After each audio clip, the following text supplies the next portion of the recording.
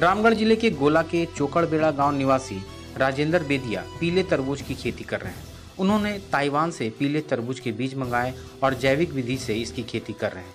इसकी जानकारी मिलने के बाद आज सुपार्टी के रामगढ़ जिला उपाध्यक्ष रमेश कुमार दांगी ने बुधवार को किसान से मिलकर खेती की जानकारी लेते हुए जिला प्रशासन से किसानों को सरकारी सहायता प्रदान करने की मांग की है ताकि किसान पहले से ज़्यादा पैदावार कर आत्मनिर्भर बन सके।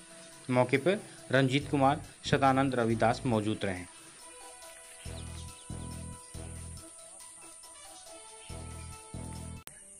यहाँ हमने जो है पीला तरबूज, जो ताइवान का है, हमने ऑनलाइन मंगाया था और इसकी खेती की है।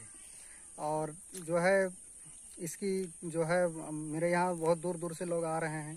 तो देखने के लिए कैसा पीला तरबूज होता है क्योंकि एक झारखंड में ये पहला खेती है। झारखंड में इससे पहले नहीं हुआ था। तो हम जितना भी यहाँ लगाए हैं, यहाँ मेरा तीन चार एकड़ में हम खेती करते हैं। पूरा वैज्ञानिक पद्धति से खेती कर रहे हैं। अगर हमको सरकार से मदद मिलेगी या डिपार्टमेंट जो कृषि विभाग है या हॉर्टिकल्चर विभाग से है, उससे हमको अगर सहयोग मिलेगा तो हम बहुत अच्छा मॉडल हम खेती करके खेती कर सकते हैं।